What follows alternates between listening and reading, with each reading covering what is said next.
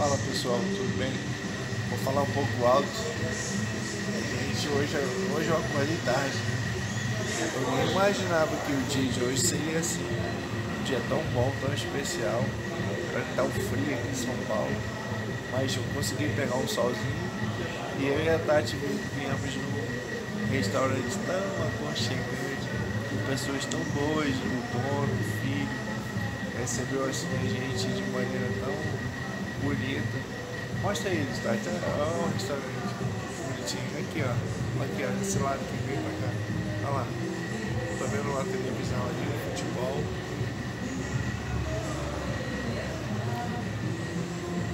Atrás. Atrás, tá?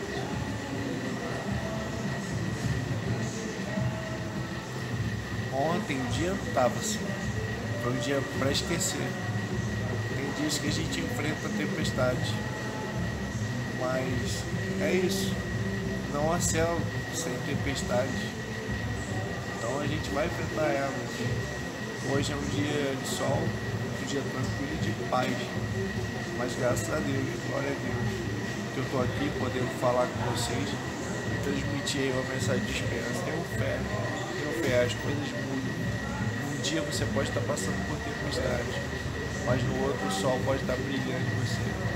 Glória a Deus. Um abraço a todos vocês. Será